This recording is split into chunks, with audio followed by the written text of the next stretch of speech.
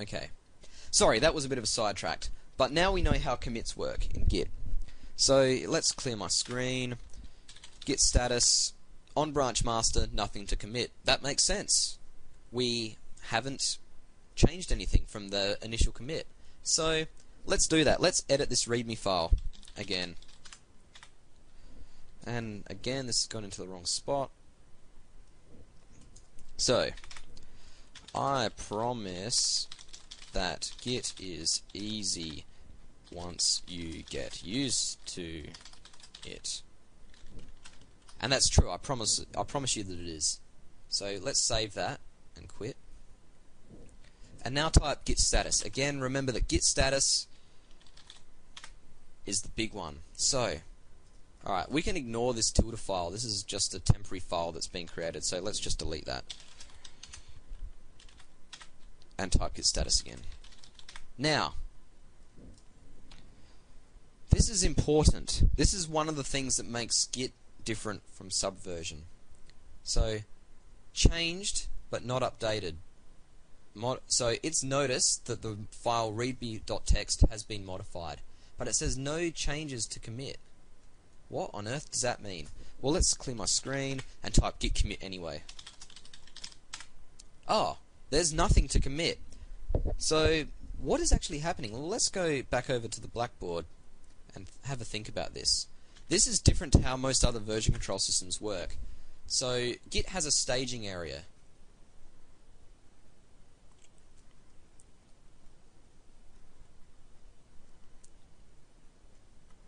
So, we have our local. This is our local working copy.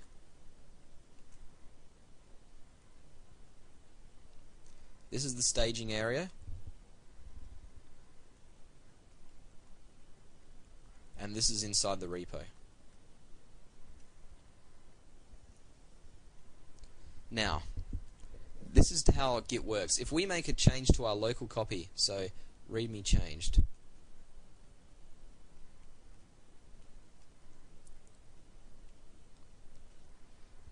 Git knows that that file has changed, but it won't do anything with it until you change it. Oh, sorry, until you tell Git that to stage it for commit.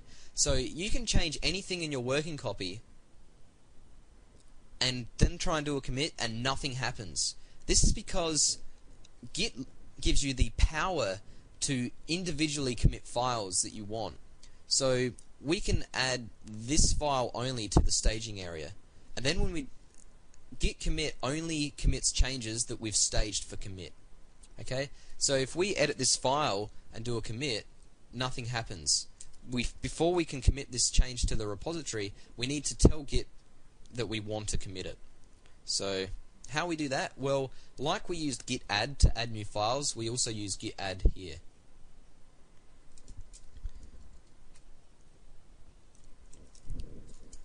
Git add. So let's try that. Let's go back over to our terminal git add readme.txt. Now if we type git status, you can see that there's a change to be committed here. Changes to be committed, modified readme.txt. That what this means is that this file has been staged for commit. Now, why do we really care about this? Well, what happens if we change our mind?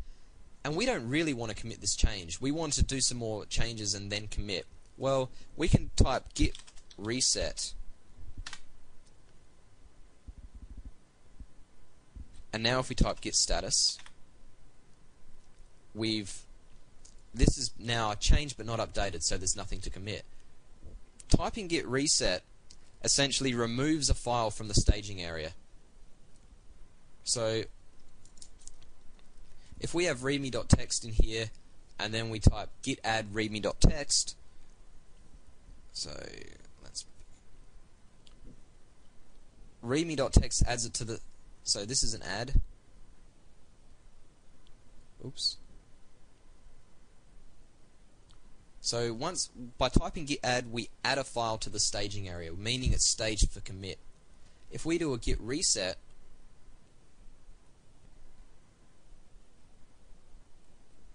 then our changes are still there. So this is still changed. But we've removed it from the staging area, so it's not going to be commit committed. So clear. Let git add readme.txt git commit and we can commit our changes modified readme I'm going to put short log messages in here. When you're developing it's a really good idea, good idea to put meaningful log messages in. So we'll save and quit. Now if we type git status nothing to commit. We've committed all our changes. So let's type git log. You can see now that there's two commits. We modif- the, this is the latest one where we modified the README, and this is the initial commit. And you can see that these have very different SHA-1 hashes for the commit names. Now, you might be thinking that having to type git add file every time we want to do commit is annoying. And you're right, it is.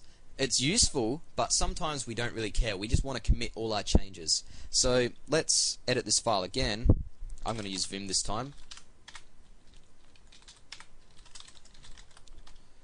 Make a small change, type WQ. If we type git commit, nothing happens. If we type git commit with the flag dash A, this tells Git to commit all the changes in your working copy, even ones that we haven't staged yet. So if we type that, press enter, oops, modified readme again. If we do that, git commit dash a, it'll commit all our changes. Okay. So what have we learnt? Git re git git add both adds a file to the repository and stages it for commit. Git commit actually push it, puts our changes into the repository. Git reset resets um, our staging area. So it's important to note here that if we added multiple files here and did a git reset, it completely wipes our staging area. It doesn't just remove that one file. I think, yeah, that's right. Okay. Now, there's important consideration here, and I'm going to bring it up now because otherwise it'll bite you by accident. So if we modify this, if we, uh, I can work this. If we modify this file again, vim readme and just delete this line and then type git status and then type git add readme so now it's staged for commit. Ugh. if we type git reset git status the and then open this file again. So it still has our changes there. They're not staged but the changes are still there. There's a flag to git reset called dash dash hard.